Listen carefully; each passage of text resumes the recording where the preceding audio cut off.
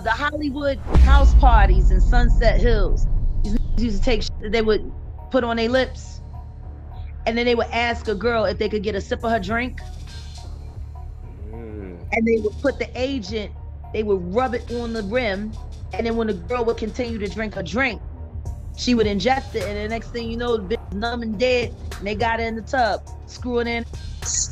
Oh, oh, they they want me to tell. They want me to tell the, the total story. Okay, I'll finish it. So then what? What happens is they presented a bad contract, and you like, I'm not signing this. Shit. And they like, oh, you don't And want to then they bring it? out the videotape.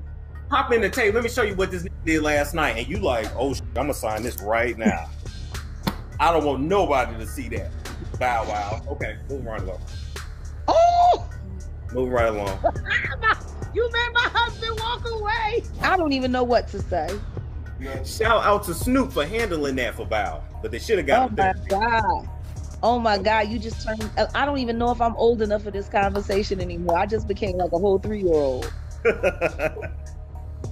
I emotionally regress from what you just said. She is here to correct any misinformation. Jaguar Wright is widely regarded as the RB equivalent of Katt Williams. Oh, that's the beautiful thing about being the kind of honest I am. Because what I'm saying is true, because what I'm saying is backed up on honest to God, complete integrity, I can say something like that. Let everybody be mad about it and step the f- away. And let's see what reality say. It ain't my fault I be ahead of the curve. It really ain't my fault. I'm just operating in my principle. And then I heard about some of the troubles that came to your door. But if I'm correct, I want to say this while we on camera.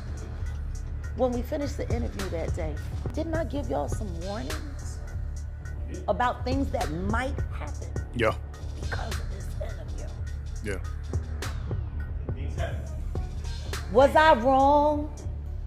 No? Oh, but was I right? Yeah. so some of I, some of the some of the things the Tevin Campbell thing was interesting to me because we just hadn't heard from him and he just kind of popped out of nowhere. According to Wright, she is currently making alarming accusations regarding Jay Z's alleged involvement in Sean Diddy's freak-offs. The friendship between the two extends much beyond just recording music together. So here's all the information you need to know. Jaguar disclosed that a number of artists in the field have encountered different forms of harassment, suggesting that people like Diddy Sean Combs and Jay Z are jointly responsible for the suffering these men endure in order to further their goals of power and pleasure. She also suggested that most of these men fit the description of homophobic thugs. I don't need to go nowhere when he's trying to knock me out, screw me in the ass in a tub. Like Well, I'm a and- dead person. But wait a minute. I know why. I know why. You just talking about this. I gotta light up my CBD. Look, light up your CBD, but let, let me get this in. I know why. I know why Hollywood is so so invested with the anal cavity. But I want you. I, I want to throw something at you. You tell me if this true, right? It happens at a lot of parties. You're thinking about signing. I'm talking about the dudes, right? You go to this party. Let's say it's cash money. Okay. You go to this party. You get knocked out. Train ran on you in your ass. It's videotaped. You wake Yeah. up. They say you that's how sign. they get you. That's how they. That's how they get them to put the dresses on. Thank you. Thank you. Thank you. I knew Hollywood it. is black. Is, is blackmail central. And they all doing each other in the. It's just it's. Well, I mean, you got to think about it. Anybody has a vagina, but you know, is dominion. It's that final frontier. They didn't all been in each other's. So they literally are all. If that is true, wait a minute. If that is true, there's only one man to blame for it. Chris Strokes. Chris Stokes. Sorry. You said Chris Strokes, and you right. you know what still trips me out? That if you go back to the MTV Cribs episode that they mm-hmm. did with Chris Right. And Marcus was there, because Marcus was living there, because he was Marcus's guardian. You remember that crib? Yep. It was an, it was an amazing apartment, but they only had one bedroom. Yeah. And they allowed look- that film to hit the television. like we were dumb.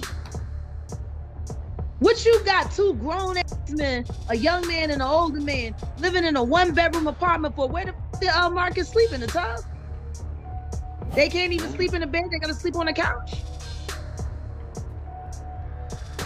That's how comfortable that was. He didn't even bother to rent a two bedroom, so Yeah. nobody would have suspicion. Because that was his name. I'm just saying, why would you live in a one bedroom apartment with the boy you a guardian of? Who's your artist? Who's making thousands of dollars a show but don't got his own bedroom? Going Ahead Jaguar said that in order to maintain control, music industry moguls like Diddy have created a harsh environment. She also said that many of them have bad relationships with their singers.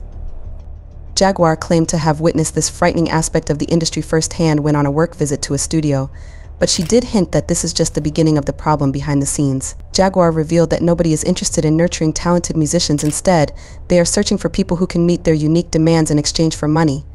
This is the harsh reality, she said, where musicians must endure a variety of humiliating situations in order to succeed. Obviously, things get even more complicated when Wright, who has made it a point to expose the negative aspects of the music industry, claims in an interview that Diddy was encouraged and helped by well-known music executives Jay-Z and Clive Davis to be their friends and to find up-and-coming musicians for their enjoyment. Wright also asserted, using mafia-like rules, that Diddy's dominance in the industry is the consequence of the dread his parties instill and the backing he gets from Jay-Z.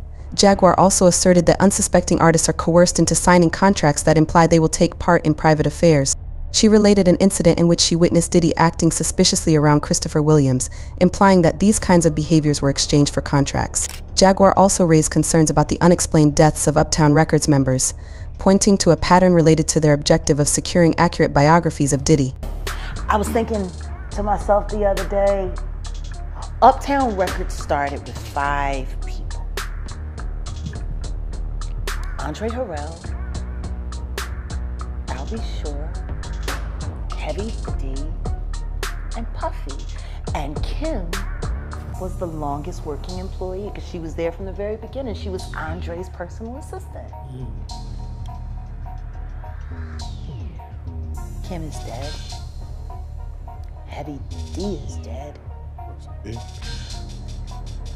Andre Harrell is dead. The only two left are Puffy and Al, and Al almost died. Isn't that interesting? That is interesting. Heavy D was found dead, face down in the heart attack. Andre Harrell, heart attack.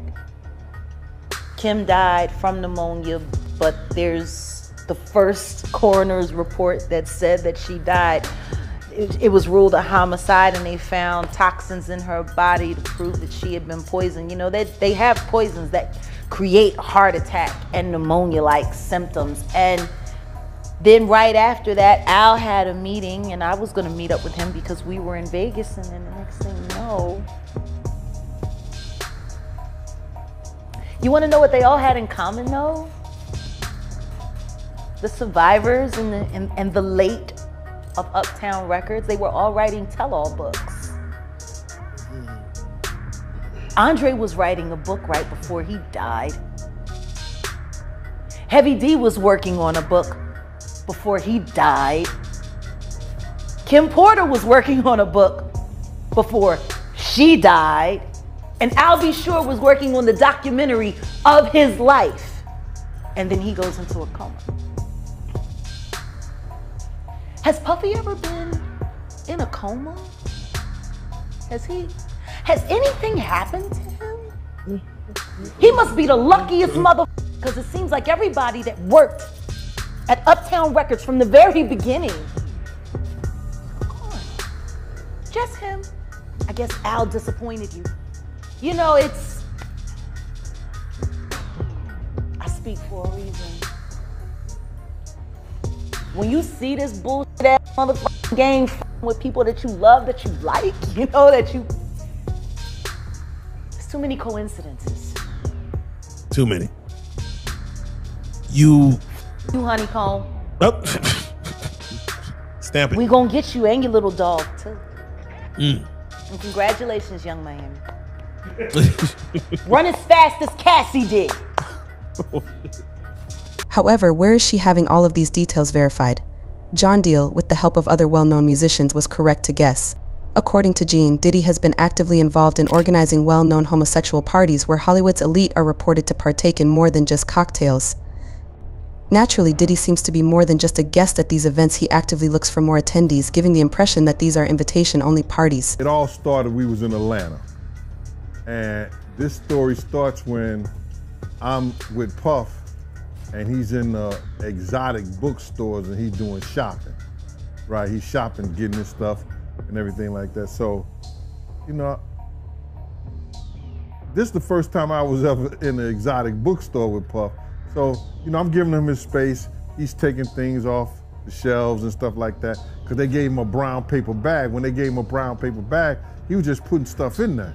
So I said, damn, you know, he got to go put it on the counter and, you know, show everybody what he's getting. So as he going, I'm just looking at the places where he picking stuff from. So there's one part he he, picked up uh, some things from up here on my left side. And then he, he picked like a, quite a few of them down. I'm like, okay. He put them in the bag. So when I went by there and I looked up there I, and it said plugs. And I was like, hey yo, I was I was messing with him. Because people don't understand, you know, we was we we was like friends. He was a part of the same gang, so I'm still gonna tease him. I'm still gonna mess with him and everything like that. I could do that. It wasn't just no security thing. So I say, yo, what are you getting this for? and it said plugs, and he was like, yo, yo, can I do my shopping by myself? I said, yeah, you can do it by yourself, brother. And he, started walking and everything like that. When he got, to, I just waited at the counter. When he got to the counter, he didn't even have to show the guy nothing. He just gave the guy a wad of money. I mean, I mean, like he gave a, the guy a stack something like this. And Puff wasn't the dude that carried no 20s and no 50s and nothing like that. And I mean, like he just said, boom, and we walked out the store. While Gene hasn't specifically mentioned Jay-Z, we all know who Diddy's closest business partner is and where the party money is coming from. Gene also stated in the interview that these events serve as a playground for Hollywood's elite, who are well known and have the resources to pay hefty fees for access to the most unusual events in the area, enabling them to indulge in their wildest and darkest fantasies. However, Gene painted a startling picture of Turkish baths as a regular spot for gay men to meet in secret. He suggested that these exchanges are more than just hot baths because of Diddy's ability to arrange things, rather they are part of a supposed network where these guys meet up for sex and secretly with Diddy and most likely Jay-Z. I knew I used to wait outside a Turkish baths for them. You know what they do in the Turkish baths? No, I don't. Oh, you don't? Okay. That's where a lot of gay men meet. And they all take hot baths together.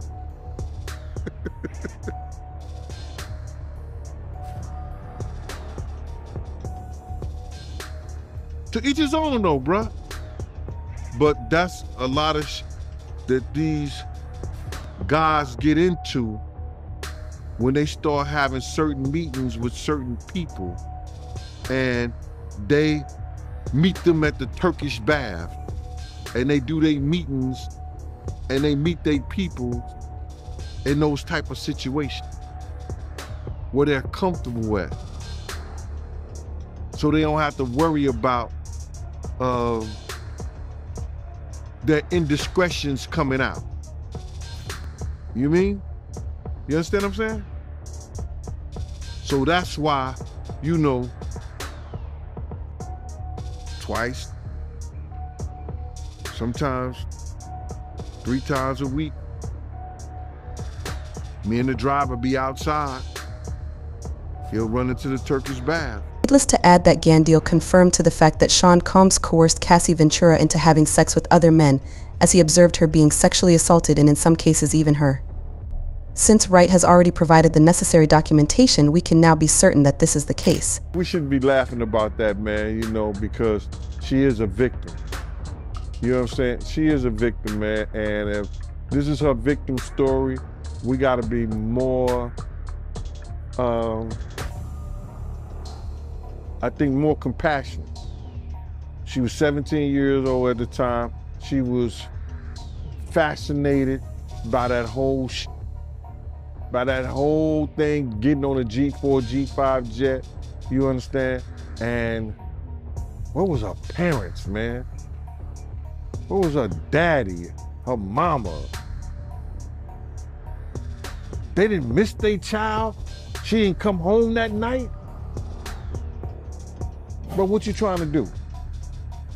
So to say that what he's being known for with Cassie, I can only equate to some of the things that I've seen him and Kim go through.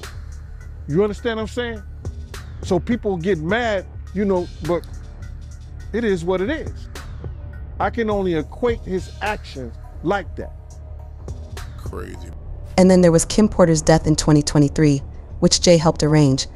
A lot of people were shocked by Kim Porter's passing, especially Sean Diddy Combs, her ex-partner with whom she had three children. Yes, Diddy's involvement is questionable. I will advocate for you. Because, see, I know something that a lot of people don't know. I know that you and Kim Porter had a sit down right before she left us. Tell him. Tell him, please. Tell him. And I know Kim had some very good advice to give you. And I believe that, that this is why things are happening as they're happening now. Kim was smart, wasn't she, Cassie? Kept you alive and kept you safe. I will advocate for you, but you are a victim. And I know that.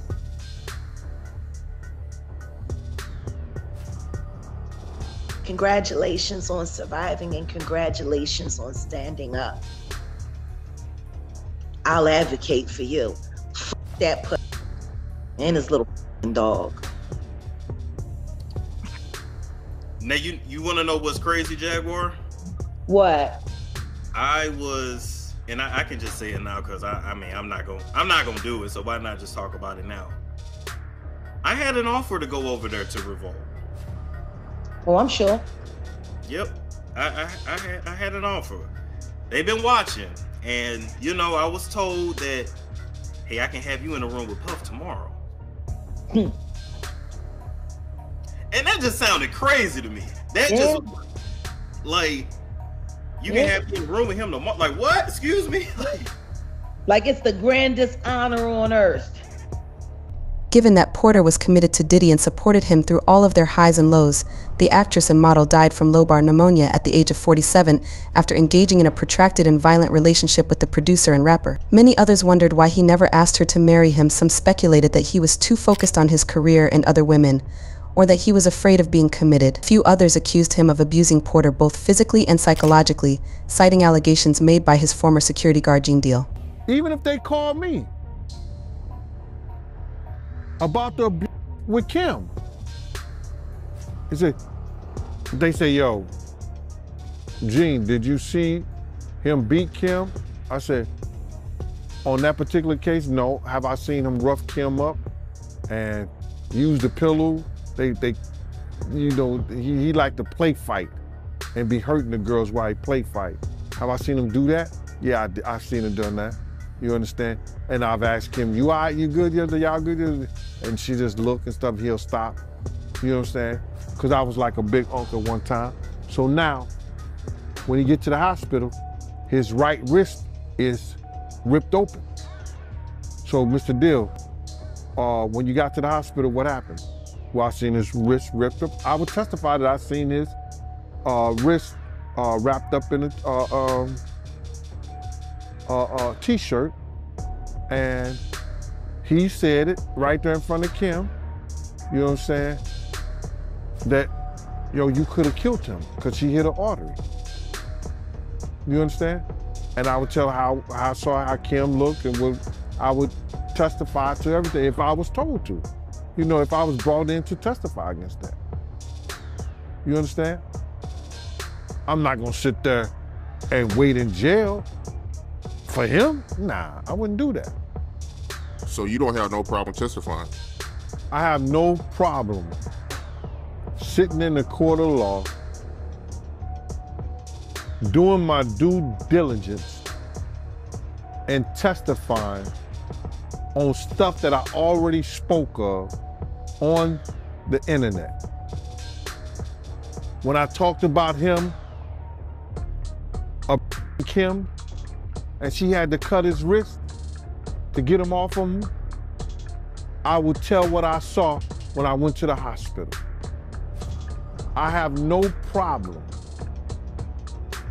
I don't care what nobody say, I don't care what nobody think.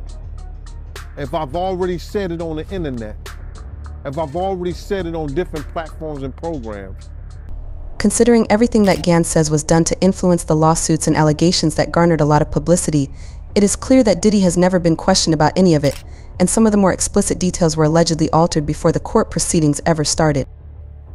Come and see the power of that moment, the amazing things that we did with our bodies and our minds and our spirits. There was not one person in that room that was not elevated that night. And everyone in that room would be a liar if they said that I wasn't responsible for 75% of it.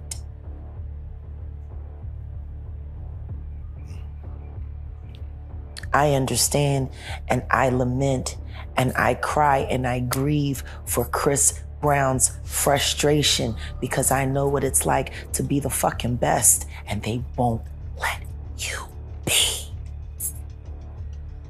I just decided I was going to find another way. I'm Gonna burn it all to the fucking ground. Fuck you all. None of you have the right to police God's gift. And what fucking gives a man a right to think that he gets to place a monetary value on a gift from God and then enforce it with treachery and barbary? Like you fucking pimping God's gift? Most of y'all don't even fucking pay taxes to the God you serve. Fucking cheating. Shell corporation after shell corporation. Fuck you mean? Like cruelty free artistry. I, that's the challenge. Can we make albums without a sexual assault involved? Can we make albums with, with, without peeping toms looking in girls' green rooms and dressing rooms? Can we make albums without the girls in the videos being sodomized right before they were thrown on camera and told to smile? Otherwise, they were gonna get sodomized again, but sniff this shit and you'll be okay. Like, can, can, can we release projects without any of that kind of shit happening? Stuff she doesn't really want to look at. Stuff's all for now. Please leave your comments below for further information. Press the bell symbol.